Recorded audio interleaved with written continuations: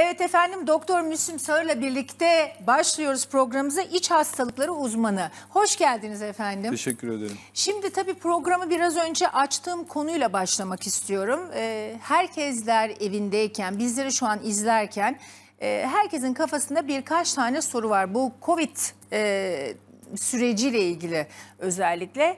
Benim sormak istediğim ilk soru. Hep şöyle bir e, cümle duyuyoruz doktorlardan, uzmanlardan. Kronik hastalıkları olanlar bu süreçte çok daha büyük bir tehlike altında mı? Onlar nasıl kendini korumalılar? İsterseniz oradan başlayalım. Evet, kronik hastalıkları ben aslında Aslında bir romatizmal, kronik hastalık var değil mi hocam? romatizmal hastalıklar olarak değiştirmek istiyorum. Kronik hastalıkların hatta çözümü neredeyse olmayan hastalıklar bunlar. Romatizmal hastalıklardan bahsetmek istiyorum Covid ile ilişkili olarak. Çünkü benim kişisel tecrübelerimdir bunlar özellikle. Romatizmal hastalığı olan veya ailesinde romatizmal hastalık öyküsü olan birinin yaşadığı Covid süreci çok daha gürültülü oluyor. Ne alakası? Hayır şunu da o zaman şimdi benim kafamda şöyle bir soru işareti oluştu. Bizim ailemizde var ama bende böyle bir sıkıntı yok hocam. Evet. Şimdi ben de mi tehlike altındayım? Evet, strese bunu-. Bunu bunu tetikleyen mekanizma Covid oluyor. Koronavirüs oluyor. Grip gibi başlıyor. Daha sonra akciğerde otoimmün hadiseye dönüşüyor ve siz eğer ailenizde böyle bir genetik yatkınlık Ki var. var. ise Covid sürecinde akciğer tutulumundan bahsederler. ya, %10, %20. Sizde %40'larda seyredecek. Yani bizde galiba sonra kalacak hasarları da mı daha fazla olma ihtimali var? Kesinlikle özellikle akciğer tutulumu olanlar artık COVID'e bağlı kronik hastalık adayı. Şimdi biz bu söylediğiniz sadece eklem hastalıkları olarak mı algılalıyız? Mesela, Mesela- kalp.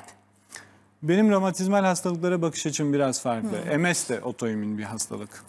Romatizma deyince sadece yağmur yağarken dizindeki Değil mi? ağrıdan Dizim ağrıyor, işte eklemlerim anlıyoruz. ağrıyor.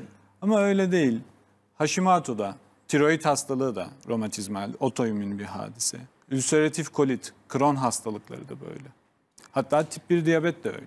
Otoimmün bir hastalık. Hepsini saydınız hocam ne kaldı geriye? Hiçbir şey kalmadı. Tansiyon şeker var. Tansiyon, şeker. Tansiyon var. Evet.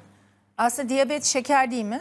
Evet tip 1 diyabet farklı bir konu ama. Tip 1 diyabette otoimmün bir hadise vardır temelinde çoğunluğunda.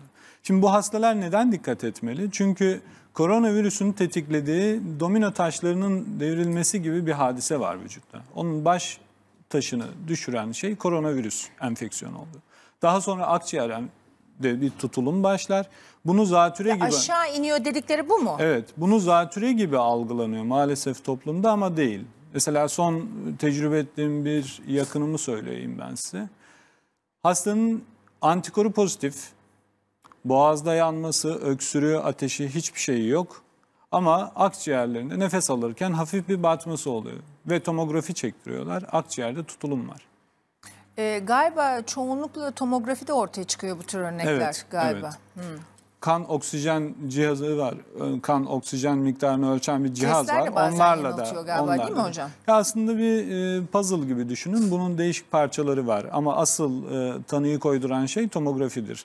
Söylemek istediğim şey şu. Siz bugün Covid geçirdiniz, akciğerde lezyon oldu ve sonra iyileştiniz. Aslında bundan kurtulmuyorsunuz, iyileşemiyorsunuz. 6 ay sonra dudağınızda çıkan bir uçuk gibi düşünün bunu. Yani bu vücudumuzda Latent kalacak. yer mi ediyor? Uçuk Latent, öyle bir şey. evet, latent, gizli kalacak. Ve buna bağlı, COVID'e bağlı ilerleyen yıllarda kronik akciğer hastalıkları çıkacak orada. Sanki bir zatüre geçiriyor gibi.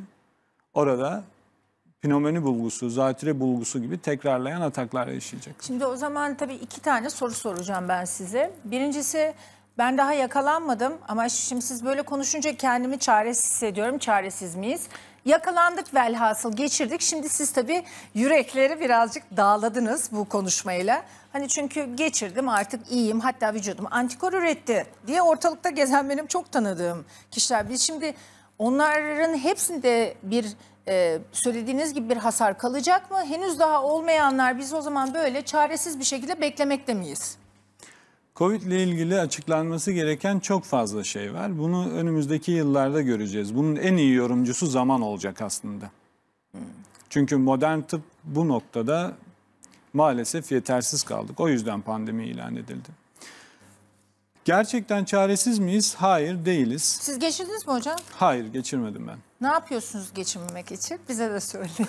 Ben de geçirmedim. Daha da çok şuurlu bir şey yaptığımı söyleyemem. Şöyle, İspanyol gribini, İspanyol nezlesini ele Evet. alırsak bundan 100 yıl öncesi ve 100 yılın içerisinde modern tıbbın geldiği noktaları göz önüne alırsanız ama virütük enfeksiyonlara karşı hala bizim elimiz kolumuz bağlı. Neden? İspanyol gribinde de insanlardan uzak durun, elinizi yıkayın ve e, özellikle öksürürken, aksırırken ağzınızı kapatın dendi. Evet.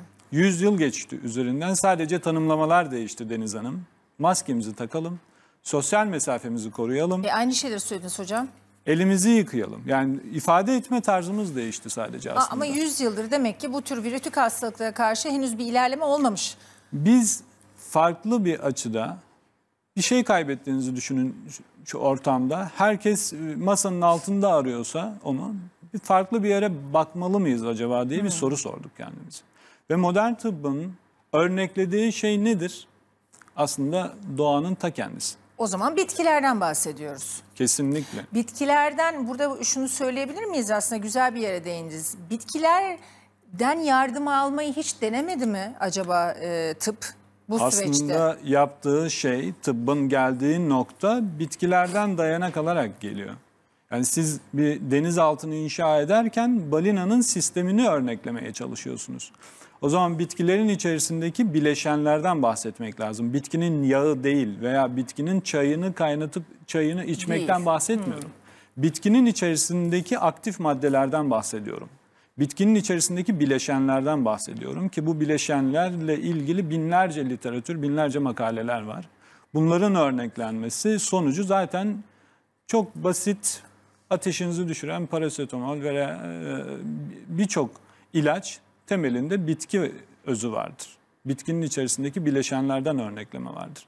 Bizim yaptığımız en büyük hata bunu maalesef medyada da görüyoruz veya çevremizden de duyuyoruz. Şu keki alın, şu kadarını kaynatın, bu buna iyi geliyor. Böyle bir şey yok efendim. E, Yani Covid özellikle Covid ile ilgili hiçbir şeyi yani şöyle sorayım daha de denk e, açıkça sorayım.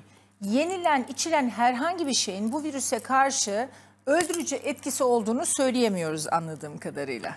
Hayır, ben burada konuyu bambaşka bir yere taşımak istiyorum. Esas olan asıl hekimlik koruyucu hekimliktir. Eğer siz Önemli. doğuştan doğuştan bir probleminiz yoksa ondan sonraki hayatınızda yaşadığınız hastalıklar sizin yaşam tarzınız, yeme Çok içme doğru. alışkanlıklarınızdan hasıl olur, netice verir.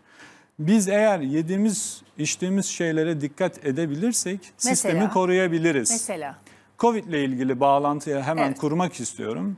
Covid ile ilgili bazı bileşenler var. Bu bileşenlerin virüslerin çeperini parçalamak suretiyle virüsleri inaktive ettiği açıklanmıştır.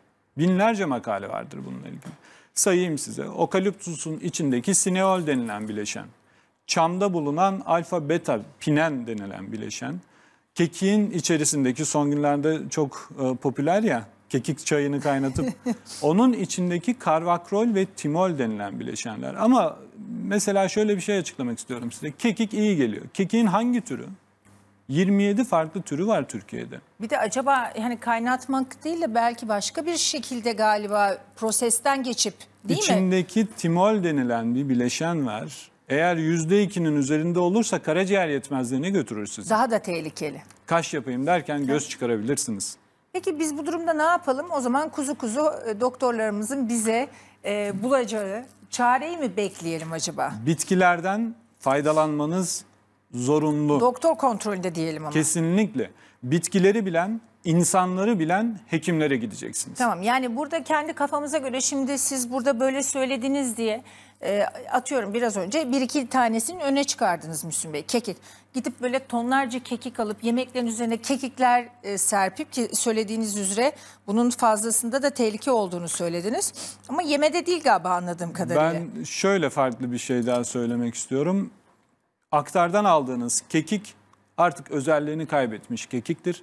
Çünkü onun içindeki bileşenler bir takım yöntemlerle o kekiğin içerisinden alınır. İşlenmiş kekikte artık siz sadece tadını alırsınız. Biz ne yapalım o zaman? Doktora danışacağız. Doktorla Doktora danışacaksınız. bitkiyi bilen ve şöyle bu dünyanın genelinde de var. Bununla ilgili yapılmış formülasyonlar var. Belli standartize edilmiş formülasyonları özellikle sentetik olmayan doğal yollardan elde edilmiş bitki özlerini bu amaçla kullanabilirsiniz. Çok e, basit bir örnek verecek olursam e, bu bileşenlerden oluşmuş formülasyonlar hem Türkiye'de hem dünyada var. Bunların uygulamasını açıklayabilir miyim müsaadenizle? Hocam e, çok e, vallahi yani aslında çok uzun bir konu fakat e, bölümümüzün sonuna geldik. Ben e, tahmin ediyorum ki en azından e, sizden almaları gereken bilgileri de aldıklarını düşünüyorum. Çok teşekkür ederim. Çok hızlı geçti zaman. Çok teşekkür ediyorum. Şimdi kısa bir reklam arasından sonra tekrar birazcık efendim estetik konuşmaya devam